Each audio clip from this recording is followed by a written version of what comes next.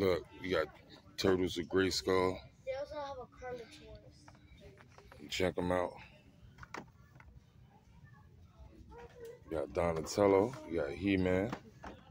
You got Man at Arms. And everybody rushing to the store to get these for 19.99.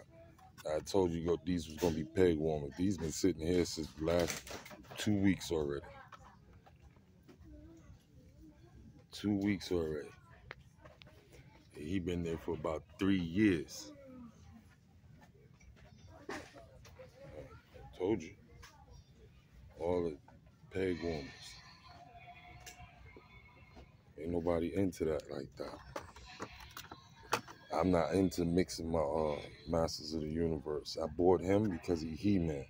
I bought the Man at Arms because it's Man at Arms. But like this turtle, you got to be into turtles. I'm not into turtles. I'm not into that. So I never even thought about it. And then you got this what's the name? These is old now. You see them, right? Hit that thumbs up, like, subscribe, and thanks for watching.